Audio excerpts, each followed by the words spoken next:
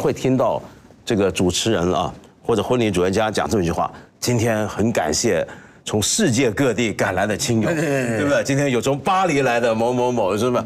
这就一样的有。很多使领馆给我们拍了电报，表示祝贺，表示表示祝贺哎表示祝贺这种这种面子不仅是看呐、因为刚说给人家看是可以用的。怎么说呢？其实费孝通乡土中国对讲的就讲了很多这个非常清楚了嘛。熟人社会里的，对啊，那有那有好像一个涟漪一样，慢慢一圈一圈出来。人伦，嗯，因为那个是要用的嘛。什么用呢？这不仅是被人家看的，因为那个面子啊，成为他的资源、他的身份，他以后可以用的。你有面子呢，你才能成为那个传传那个社会里面的领袖，才能用。所以它是里面有一种理性的成本计算。我们很多时候还是花钱去买面子啊，比方说名牌，你看没？同样一个包，啊，三千块、三万块、三百块，那个三万块的就是面子啊，你背放的东西是一模一样的。为什么我要三万块买来，我自己都觉得值？旁边人因为旁边人看你的眼光不一样，你用三万块的包。代表了你的身份的不一样，它完全超出实用价值。对，这个不就增加你的面子了吗？面子就是你的标签嘛。啊你自己行走社会，啊别人靠什么来来论断你？对不对？那那那。这个就是等于是现在的呃生活的一个普遍规律了吗？而而且呢，还有一个这个面子啊，它等于是一种货币，面子是人际交往当中的货币。但这但是这个货币的币值呢，不像真正的钱一样，说一百咱没争议，有的时候很多矛盾是。比特币，没没有的时候很多矛盾就发生在我们对于这个货币啊，这是面子当然能用的啊，能能换能换利益的。但是呢，呃，有时候如果两个人对您这个面子的这个币值有争议，矛盾由此产生。但是还有一方面，就像刚才子东讲那个，它不一定只具有一个货币的通行价值，嗯，它有时候有本身有内在价值。这个内在价值就是你本身得到一种被尊重的感受，就是一个内在价值。就比如说，也许你今天穿了满身名牌，让人一看就看得出来。呃，你会觉得人家这变成一个通行货币，因为人家觉得这觉得可以跟你做生意，你是有家底的，很可靠的。但是有时候他要获得的就是，由于我穿了这么一身人人都认得出来的名牌，所以我去到哪，人家对我呢也会就这个估价了。对，就有这个就有个。面子，就让我这个东西让我本身心理感受上舒服。其实做领导的、做老板的，聪明一点就多给人家面子，因为这个货币是是最容易给人家自尊嘛。对这个这个给人家一点自尊，舒服点其实你就算你不提拔、不加人工，你说几句好话，请吃一顿饭，人家也觉得受尊敬。否则的话，你就算给了家人工，但是你的态度这个样子，下面的人还是火大。比如说，就像刚才我说买奢侈品，你是为了要让别人觉得瞧得起你。就比如说，有时候我看到我们的富豪穿的都很像嘛，一定有爱马仕皮带，那个鞋一定是 GUCCI 的那个 loafer，呃，就全身上下对，不你一看就看得出来在肚子上挺得很大你一看就看得出来嘛。那但是呢，很多人我记得小时候我常听人说，真的有钱人啊，不需要那么炫富的。说这个，你看人家，我小时候是常听人这么讲。你看谁谁谁啊，生活很简朴。那现代人最喜欢传说的其中一个这种人物就是李嘉诚嘛。李嘉诚不是戴一个钢日本的很便宜的一个一个一个钢表，戴了几十年嘛。然后这是一个传说。另外一个就是说巴菲特住了一个小房子，是吧？然后上哪都吃麦当劳。那么呃呃，比尔盖茨最初没不不开不坐私人飞机的时候，出门出差是坐经济舱的。那但是问题是呢，我觉得说这些话的人呢有点无聊，他们没有想过，就是一个人之所以还需要穿名牌什么，就是因为他不能刷脸嘛，他就只好刷这个。那你说李嘉诚来了，谁计较他戴什么表，对不对？没错他他的脸就比那个表再怎么贵的表还值钱，对谁都认得出来。哎，你说的啊非常好，但是你得让我去广告。福特锐界圆桌派广告之后见。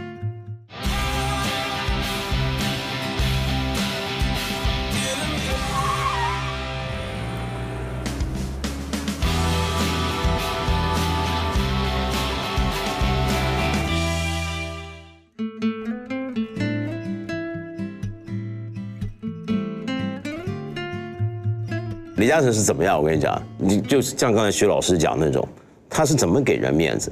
比如说你普通一个人，平常人约了吃饭怎么样，就就没见过面的人，呃，他约你到他自己写字楼楼上自己那个小饭厅吃饭，楼下传报上去说，比如说窦先生上来了，然后你上去的时候，有时候就会看到电梯门一开，他站在那等你，跟你我说窦先生久仰了，怎么样怎么样，然后吃完饭送来把你送非常出去，重要。那要是他在吃饭的桌子上等你的话，你看这一步就差就不一样很远。。但是就这一步，所有人都记得，所有人都说李嘉诚是这样的人，哎呦，这给你面子，就是。做到不应该，呃本来人家觉得这是应该，我去见一个高层，那真是中间几道传达，对。啊，对，最后你见到，许爷来了，不不不，哪里啊？哎 当然不用这种话了啊，对不对？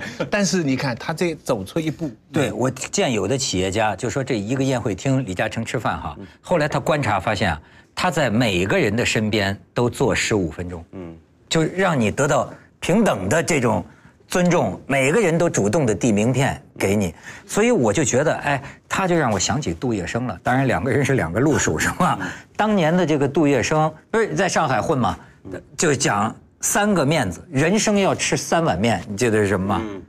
体面，嗯，场面，情面，嗯，就是这三碗面。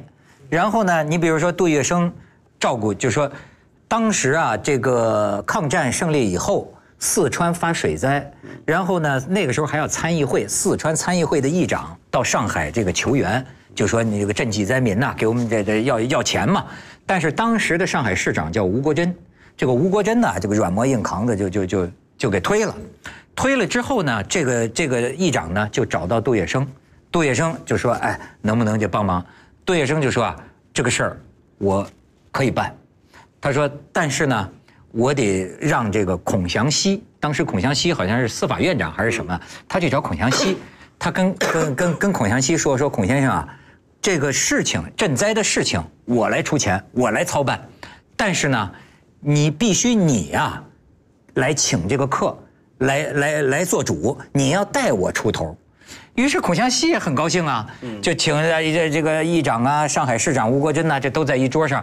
孔祥熙就是说，哎，这个事情一定要办好。然后呢，这杜月笙站起来说说，哎，有这个孔院长给我们这个号令，小弟我呀，一定把这个事情操办的这个妥妥善善，一定要把赈济灾民的工作完成好。哎，那篇文章呢，还只是说说，你看这个这个这个杜月笙多会给孔祥熙面子啊，呃让孔祥熙多开心呐、做善事他做了实事孔祥熙得个名，你觉得他是多多给孔祥熙面子？其实我觉得还有另一层，就是啊，嗯因为这个吴国桢把这个事儿给推了。如果我这个杜月笙接手过来去做，那不是不给这个上海市长面子吗？对。但是我现在把这个孔祥熙请出来，哎，是他让我办的，这个事儿你看，这个就是场面、情面、体面，这不都是照顾吗？对，那打点周到，很多这种故事啊，像有有那时候，其中一个是一个作家哈，搞电影的，反正有个事情去见杜月笙，去了杜公馆，作家在那边等。等了半小时啊，杜先生才出来，穿着长衫什么，他已经脸都黑了。那个作家嘛，像我一样脾气不好，这样脸都黑了，想走了。然后呢，杜月笙马上在他起来说要走以前，先说，那呃就说，哎，给个面子，不要倒茶，我说话。说我给我自个儿倒行吗 然后呢，就说给我面子哎，那梁先生，哎，对不起，对不起啊，让你久等，我晚了，为什么？因为你是写作作家、文化人，我总要穿的体面。那我刚那个什么什么衣服、长衫什么哈，有点皱，我就请我那个工人啊，替我先熨好、打点好，我才能出来见你。哇，那个作家当然就被他收的贴贴服服，后来写文章称赞他们。可是有时候当对方他也给你面子，有点你要淡定啊，才能应对。我就闯过祸，在一个宴会场合啊，李先生，我们刚李超人嘛，李嘉诚嘛，就像你说，每一桌要突然过来坐了几分钟跟你聊。我没想到这样啊，他一过来啊，我们那一桌只有几个人，然后他就过来坐下来聊，一坐下来我太兴奋了。啊，嘴巴说我不稀罕那个，然后呢太兴奋了。李嘉诚嘛坐我旁边嘛，准备要掏手机拍，可可是，一兴奋呢，他来握手的时候，我就跟他讲：“哎，李先生，我是你偶像。”很丢脸，啊啊，我是你粉丝啊！还是给他倒茶吧。这好丢脸，我到今年都觉得我是你偶像。然后李嘉诚怎么样？他就笑啊，你知道哇，李生我係你偶像啊，唔係唔係唔係，你係我偶像啫。我说你是我偶像，好丟臉，你知道嗎？從此我就覺得，哎，給你面子又倒茶幹啥？所以你这时候需要喝点茶了。你你得喝点茶，你得在在喝点茶。乎面子是弱者，其实听下来，给人面子是真的是强者在你有你有面子可给吗？而且我们平常注意的面子，一个是钱了，比方说结婚啊、房子啊、车子；一个就是贯彻到，比如说名牌啦、衣服啦什么。还有一个面子，我们说实在话，我们看别人看不惯，但自己常常犯，就是你会提有名人的人。嗯这个无有意无意的道理很简单吧？恩格斯说嘛，你的人的性格是全部社会关系的总和。所以你要是认识巴菲特，你要是认识李嘉诚，比方他跟李嘉诚做过一下，这个马家辉就不同了，对不对？这个马家辉就不同的马家辉。所以我们平常，我这常常警警惕自己，面子，面子看别人这说明面子这种货币呢，还可以借贷，对吧？我可以借，哎，认识文道吗？那是我哥们儿，不是啊不是不是借贷，那个是银行 存款，那个是在银行存款，等于是啊先先兑现这样啊，我谁谁谁，而且要。而且要装作若无其事的时候说啊，谁谁谁给给我打了个电话，是吧？要我到长城去铺大理石，对不对啊？诸如此类，就说其实想明白了，就是你说的，这人为了自己的自尊，越是低下的人，越要维护自己的自尊。除了钱，除了礼物之外，认识名人，包括人家请你窦文涛去主持婚礼，都是这个。你一个名人进入他的社交圈，旁边的人其实看得蛮清楚的。其实你说他的朋友当中会不知道这个情况吗？其实都知道，但是自己，我们包括我常常有时候在想，自己是不是有时候也这样呢？哎，会不会有意无意的时候，我们写文章引很多有名的人啊，是不是也在狐假虎威呢？就是说这个不是个前现代的单单的这个问题啊。哎，我真的，我这这他刚才讲了他的这个这个没面子的历史哈。哎，要是你们俩就是敢不敢说，你们记得，因为这个可以了解到你们在乎什么，就是说，你们觉得最没面子的这辈子最没面子的是什么事儿，或者说是哪一件事儿让你觉得最有面子？你们能说来听听吗？呃，我不能说最没面子，但我可以说我最丢脸的一件事情。嗯，我一直是记得，那就是第一个就是我家里被抄家的时候，我父亲被他们呃北京红卫兵拉出去，做的戴了个睡帽，在那里呃逗他的时候，我当时不恨北京红卫兵，我这个书里都写了，啊，不恨他。那么这个是嗯假假定说这个是限于一个特定的时代的话，我后来还有一件更丢脸的事情。就是我后来读了研究生了，我开始写小说了，然后我父亲呢，其实是有点啰嗦了，碰到一点事情啊，就跟人家反复的讲，所以呢，他就把我发表我的文章的杂志啊放在那个枕头下面，我已经知道他反复跟人家讲，所以我跟我爸爸说，我说爸爸，你不要再去跟人家讲了，你已经所有来我家的人都知道我徐子东发表文章了，你再讲，人家都觉得你烦了。我爸爸说，好好好，我绝对不讲，不讲。但有一次是中秋节嘛，我记得我回去，这个这个听到他还在讲，我就一上去，我真的很不开心。我就一开门，是我哥哥的一个同学在，我父亲又拿出我的那个杂志在跟他说，我当时就就说，我说爸爸你做什么嘛？然后我爸爸呢，这个帽子歪的，就好像很对不起我的样子，就是就是遮遮挡着把这个东西。我后来想想，我太不是人了，真是，这是，这是我最丢脸的一件事情，比我做什么事情都丢脸。他就这一点骄傲了，他已经睡在床上，他就是我读了研究生，我发了个文章，他就这点骄傲，我连这一点都不给他。我就是我这个觉得我是很丢脸，真是不要讲没面子，我真是很丢脸。我觉得我当时觉得我爸爸要面子，他为了他拿我来做他的面子，我觉得这很可笑。我现在回想起来是是我自己的问题，完全是我自己的问题。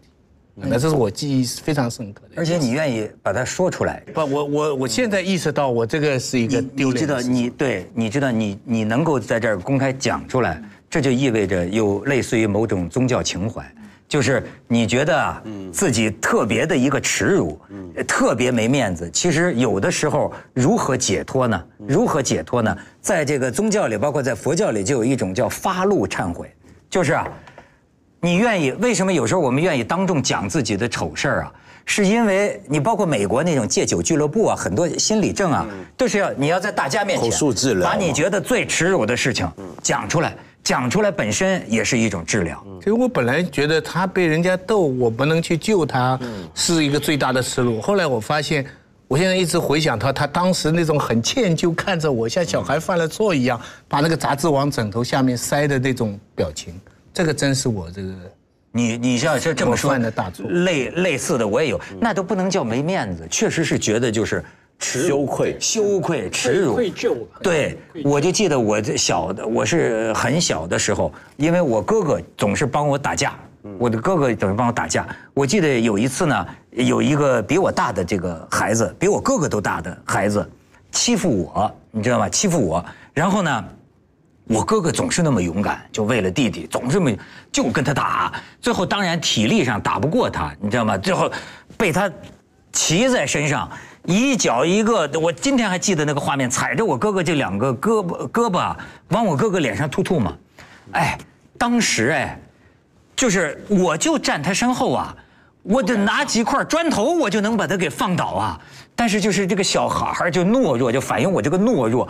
我长大是，哎，这么小的事情，我只记一辈子。就是我到现在见着我哥哥，我就跟他道歉。我哥哥说哪有这事儿？你你做梦呢嘛？他完全不记得了。但是你看，这就是我觉得好没面子，就是一个一个一个一个羞辱啊，这种。所以这个这个也是愧疚吧，不是一般理解的面子。愧疚。讲起来也是丢脸，，这因为也是脸。也是丢脸，因为别人也没没有没有有没有这种感觉嘛。丢脸通常是在别人面前，可是我觉得，我觉得有在房间里的我哥哥的那个那个同学啊，那个他这个是我们家的好朋友，在我们家最困难的时候曾经帮助过我们。他当时就一个表情，就是说，你何必呢？子东就是说，老人就是糊涂了，把你的小说一一再拿出来展览，你何必去训斥他，甚至是好像高声的说你爸爸不要装。我看他的表情就是这个意思，所以我现后来回想起来，我这是丢脸的事情，这是丢。哎，文道，你觉得最丢脸的，能说吗？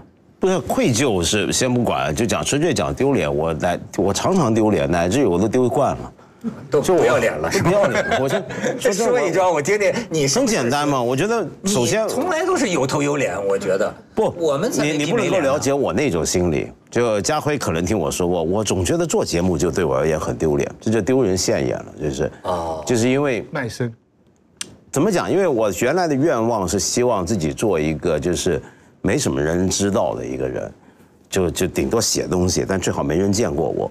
但是这当然没办法了。然后第二个丢脸的事，就昨天才经历过，就去演讲。我最怕去演讲啊，或什么时候那些主持人上台，先把我捧一轮，呃，然后跟着，每次那种时候我都低着头，所以我觉得很羞愧。他们每一次说梁文道老师叭叭叭叭怎么样，我觉得全部都名不副实，啊全都是假的，那我就觉得是很丢脸的一件事。但是问题是，这就是我的工作，所以我天天都要承受这个丢脸，有点像天天要卖身人身。家旁边人觉得你装得很谦虚。对装，这就叫装了。那我真的是觉得很羞愧。我觉得，尤其我很受不了，每一句话我都觉得有问题。你比如说，包括在大陆，尤其在大陆，我们做那些演讲活动，那些主持有时候还有套话，那套话包括什么著名的文化人。对著名的文化人，然后最后一定要来。好，那我们现在就让我们掌声热烈的掌声梁文老师为我们带上思想的盛宴。然后 每次到这儿，我就我就听，就我都讲都还没讲，你怎么知道是思想的盛宴？也许把你饿坏了呢，对不对？这。所所以我们俩穿衣服都能撞衫呢。他的这种心理啊，我也有，但是呢，我已经无耻者无畏了，就是我要我已经向你多学习，往你的方向迈文进。文文道，我非常能理解，就是说，因为这种我理解，说起来呢，一般的观众很难理解，就是说啊，就咱们就在这儿干这行的，装疯卖傻，装疯卖傻。可是你知道，曾几何时，这个世界上有另一种羞耻观，有另一种没面子。比方说，我打比方说，举个很简单的例子，呃，咱们今天呢，演艺界的人士得到了最高的这个推崇，对吧？这是很很好的啊，这明星。但是你知道，在旧社会曾经有一个时候，戏子。嗯，你是跟这个怎么说呢？这个色情业的人，在一个社会等级上，就婊子无情，戏子无义。那那个时候，那个时候艺人的社会地位啊，就是你可能很挣钱，你可能非常火，也有大批的粉丝。可是呢，你说一个戏子，你要嫁到一个呃贵族的家里，这个就会遇到非常大的阻力。就连邓丽君，你记得吗？当年跟新加坡的一个家族的人谈恋爱，老太太还是觉得你这个。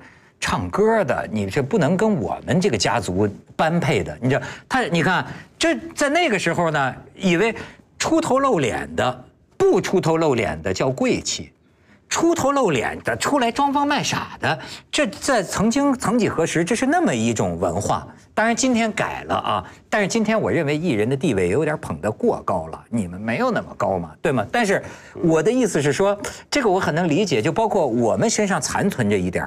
就比如说，被众人所注意，在众人当中特别出名，这个本身也是一个可羞耻的事情。就你这个，我不知道今天有多少人能理解。哎，我甚至在驰骋这个思维啊，你去看爱因斯坦的传记，我也发现很有趣。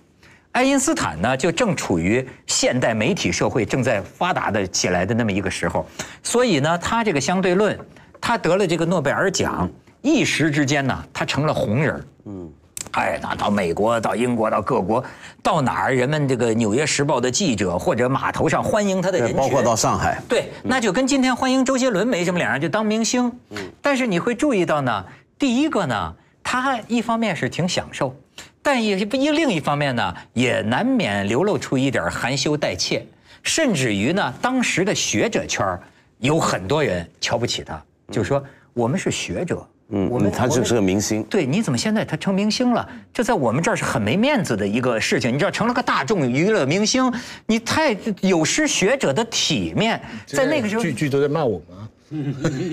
前一阵儿那个谁，那个赫拉利，你知道吗？尤瓦尔·赫拉利上台的时候，我就发现他就对中国文化有点，中国当代文化有点不适应了。一出来，他就是说，我是一个这个这个科学家，还是说历史学者？历史学者，我又不是摇滚明星。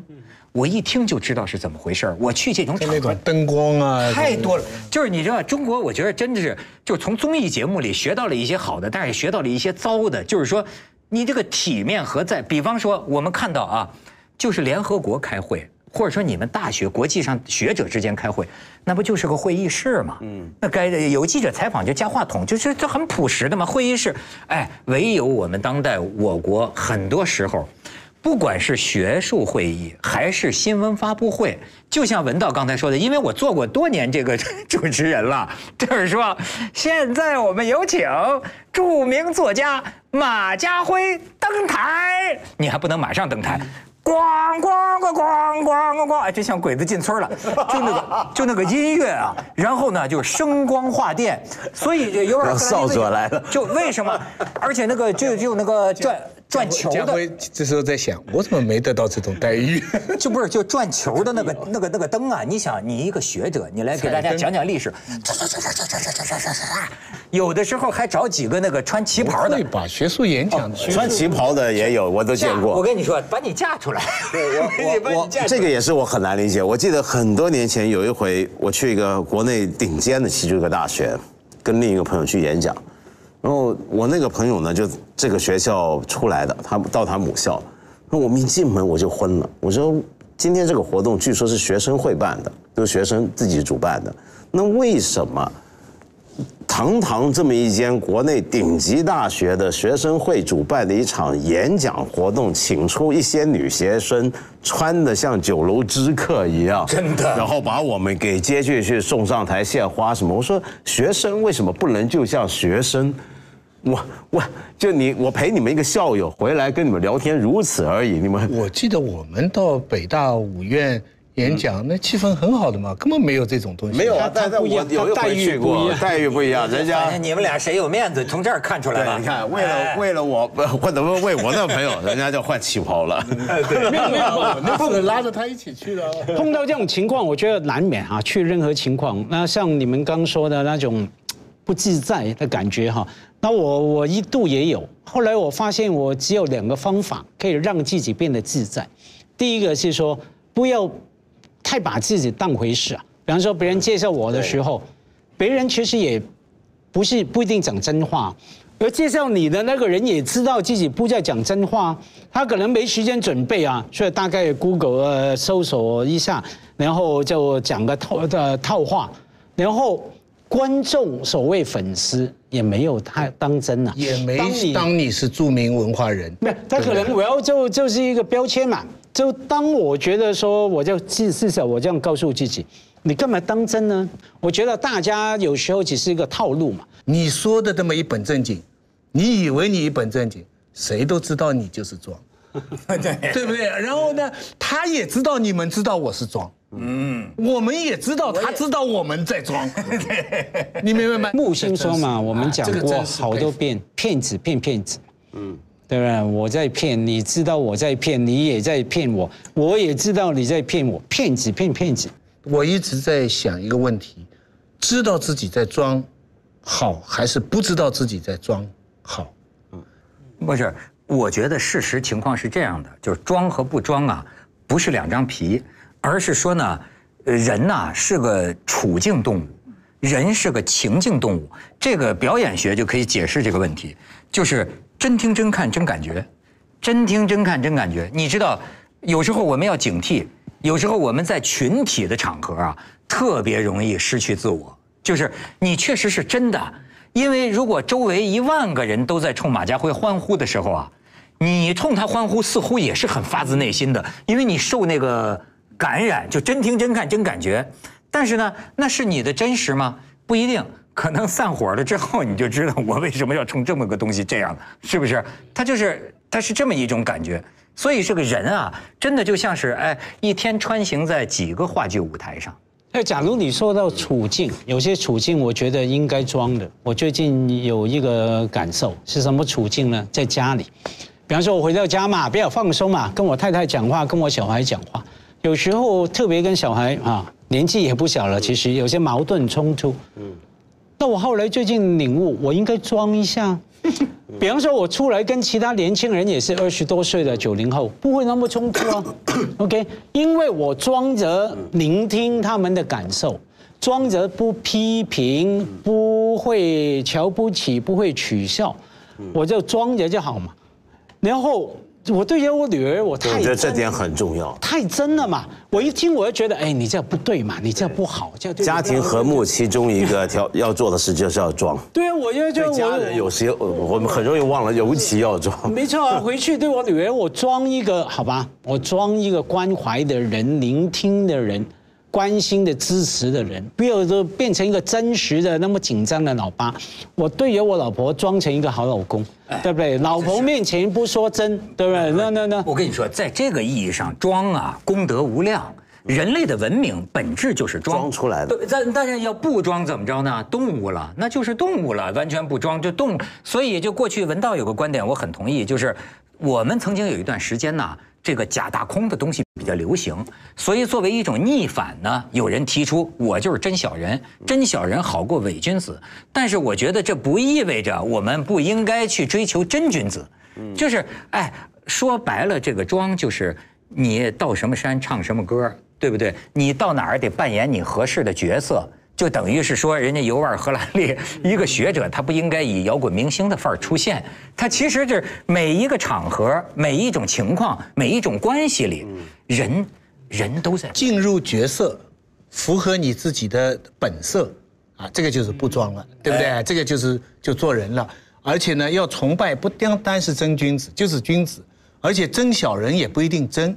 对这个这个呃张爱玲一直讲过嘛，她说她他的后母啊，他那个他爸爸找过一个年纪比他大的一个一个女的，其实是风尘的女子，帮他做衣服，做了衣服以后说你喜欢吧，你喜呃，然后张爱玲说啊我爱你，他说我说这个话的时候还是真心的，所以他后来一直后悔，他对着这么一个女的说我爱她，啊，但是他说的是真心的，所以人有时候真心就像你说的，其实也是一种情境，对不对？哎，对，所以戏假情真。对，这个有的时候流氓都是装的，你知道吧？来来来，在装与不装之间，哎。